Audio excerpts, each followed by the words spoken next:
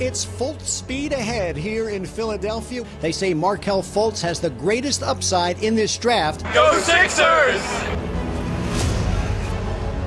The Sixers love the six foot four inch point guard out of Washington. Markelle Fultz is the best talent available in this draft. With the first pick, the Philadelphia 76ers select Markelle Fultz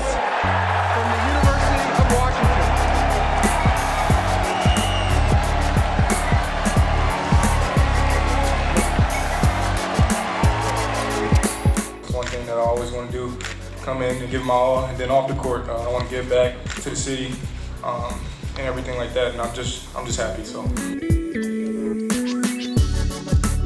They're getting a guy who's got an NBA frame already. He's he's essentially a James Harden clone on the offensive end.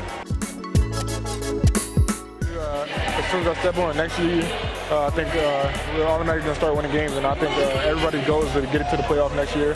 They're, they're great guys. They speak for themselves, as you see, uh, on and off the court, and uh, I'm just looking forward to you know the process is, is bright. And I know it's not going to be easy. I know it's going to be a lot of work to do that, but I feel like we're all willing to put in the work to do that. And we know we're going to make mistakes, but it, it's going to happen. So.